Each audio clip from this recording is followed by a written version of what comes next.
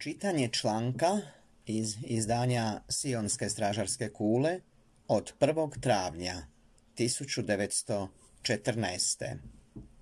sa naslovom Vjera, temelj pravog počinka. Ključni tekst. Jer mi, koji smo povjerovali, ulazimo u počinak. Hebrejima 4, redak 3. Stotinu pet. U našem tekstu Sveti Pavao se poziva na činjenicu da je zakon predviđao židovu fizički odmor za sedmi dan u tjednu, za sedmu godinu i 49. i 50. godinu. I da su ti šabatovi bili tipovi za bolji počinak. Ističe da svi koji vjeruju u Krista ulaze u počinak i tako drže stalni šabat.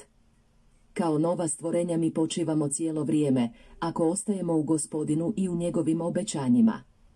Apostol kaže da je vjera potrebna za počinak. Govori nam što da činimo kako bismo si priskrbili ono što nam je Bog već osigurao. On nam pokazuje da je Bog dao obećanja Abrahamu i to je ponovljeno Izaku i Jakovu. Bog je izjavio svoju namjeru da ima posebnu, svetu naciju i obećao Abrahamu da blagoslov svijeta treba doći kroz njegovo sjeme, koje će činiti ovu izabranu naciju. Obećanja su bila velika i dragocjena. Abraham je povjerovao u poruku i bio je radostan. On je počivao. Nije znao način na koji će Bog donijeti blagoslov, ali je imao Božje obećanje, potvrđeno. Njegovom zakletvom. Tada nije trebao znati za gospodina Isusa ili plan spasenja. Imao je puni počinak u potpunom vjerovanju Bogu kao i mnogi njegovi potomci koji su imali istu vjeru kao Abraham. Izak i Jakovi mnogi proroci, uključujući proroka Davida, tako su vjerovali Bogu. Njihovi spisi pokazuju da su bili u potpunosti u skladu s Bogom. Shvatili su da je on napravio milostivu pripremu za budućnost i da je ta priprema bila za svijet općenito. Ipak znali su da će imati bolje uskrsnuće od onoga svijeta. Imali su počinak vjere u te stvari koje Bog još nije ostvario. Naš gospodin Isus je izjavio da je Abraham vidio njegov dan i da se je radovao. Nije to vidio svojim doslovnim okom, već okom vjere. Vidio je dan u kojem će Krist, koji je umro za sve ljude, uzdići ljudsku obitelj, podižući svijet iz grijeha i smrti, prvo uzdižući svoju nevjestu i konačno uzrokujući blagoslov Boži da se proširi na svako stvorenje. To je upravo ono što je Bog obećao Abrahamu u Tebiju. Tvom sjemenu sve će obitelji na zemlji biti. Blagoslovljene. Abraham je bio radostan i svi ostali koji to vide radosni su. Abraham je bio zadovoljan kada je vidio da će biti veliki blagoslov za njegovo potomstvo i kroz njih za svijet. Nije jasno vidio Božji plan, kako ga mi vidimo, ali je vidio dovoljno da se raduje. Ivan 8.56 Povećano svjetlo i veći ispiti Dolazeći u naše doba, vidimo da je veće svjetlo, veća prednost, donijelo veće ispite vjere u mnogim aspektima.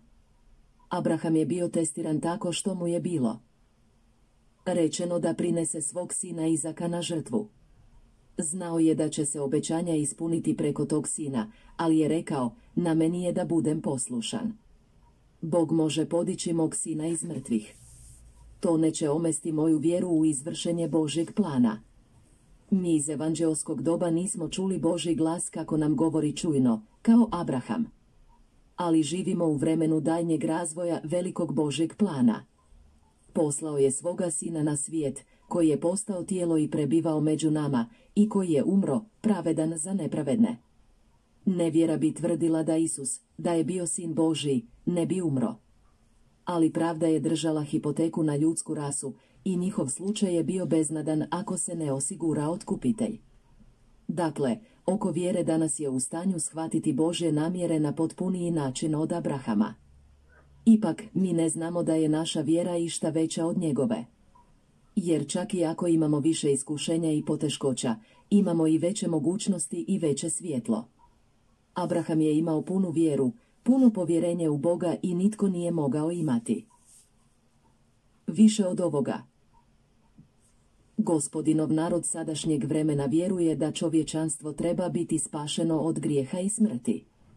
Neki imaju više znanja od drugih i više ispita. Neki koji imaju manje kapaciteta ne mogu izdržati tako teške ispite, niti mogu uživati tako u potpunosti. Ali svi mogu imati isti počinak kao i Abraham počinak vjere u Boga. Bog je obećao svojim svecima uskrsnuće u slavu, čast i blagoslov. Ali to još nije stvarno. Mi sada imamo samo zalog ovog nasljedstva. Na vjeri je da pobjedi i shvati da nas Bog može dovesti u to veličanstveno stanje koje je obećao. I hoće, ako smo vjerni. Svatko u omjeru sa svojim znanjem i vjerom će imati počinak. Naučeni i najneukiji mogu imati ovaj počinak, samo ako vjeruju Bogu. Počinak proporcionalan vjeri.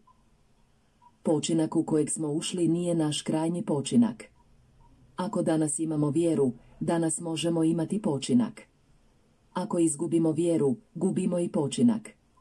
Ali čeka nas savršen, trajan počinak.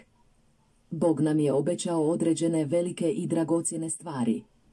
On je naš stvoritelj i naš otac i učiniti će za nas stvari koje je obećao.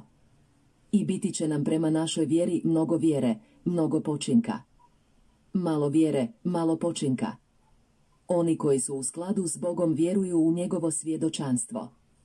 To ne znači da su svi koji su bili od Bože djece vjerovali u sav božanski plan.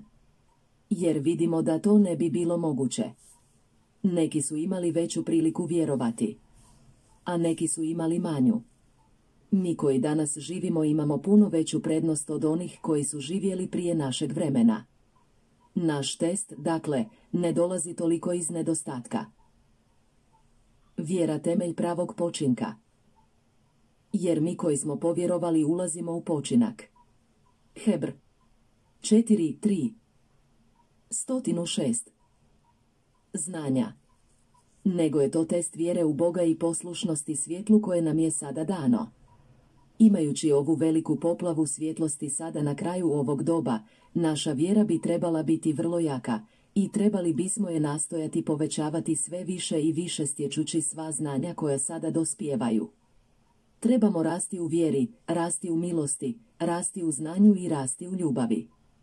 Ulazimo u dublji i inteligentniji počinak ako iskoristimo pomoć koju nam je gospodin pružio.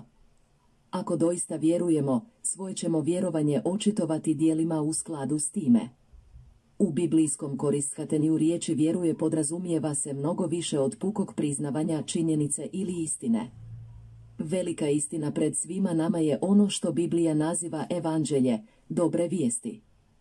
Vjerovanje iz našeg teksta je vjerovanje u to evanđelje, mi koji vjerujemo evanđelju ulazimo u počinak. Što je evanđelje u koje vjerujemo? Ono uključuje sva obilježja Bože ljubavi i milosrđa nama kao posnuloj rasi njegova namjera za vječni život. Kroz Krista, sa svim blagoslovima koje to uključuje. Crkvi evanđelje dobre vijesti uključuje i ponudu su nasljedstva s Kristom u kraljevstvu. Netko bi mogao imati intelektualno uvjerenje u ove obećane blagoslove bez ulaska u počinak spomenut u našem tekstu ali ovaj oblik vjerovanja očito nije u apostolovoj misli. U mjeri u kojoj pojedinac prepoznaje te činjenice, prihvaća ih i djeluje po njima, u toj mjeri ulazi u počinak. Ako djelomično vjeruje, počiva u tom omjeru. Ako vjeruje više, više počiva.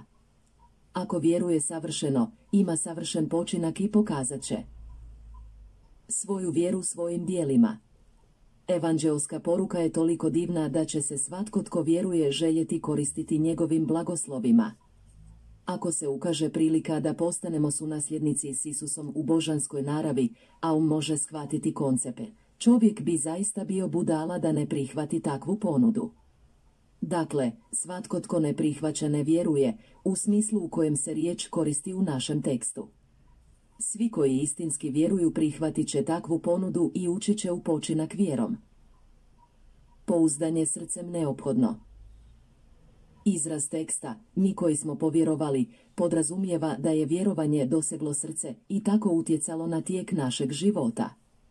A drugi dio izjave, ulazimo u počinak, podrazumijeva da mu počinak postupno dolazi jer je vjerovao. On je najprije povjerovao.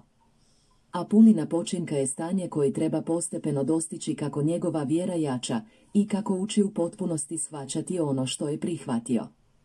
Sa srcem čovjek vjeruje, a ne samo glavom. To nije samo intelektualno vjerovanje. Kada prihvatimo evanđelje kao činjenicu i u potpunosti uđemo u njega, počinjemo odjednom imati mjeru ovog počinka. I dok učimo iz svojih iskustava koliko je gospodin vjeran svim svojim obećanjima prema nama, počinak postaje dublji i trajniji. Vjerovanje je isprva bilo potpuno vjerovanje u Božju poruku. Ali kako rastemo u milosti i spoznaj Božjoj, tim je naša vjera čvršća i utvrđenija i naša je počinak proporcionalan.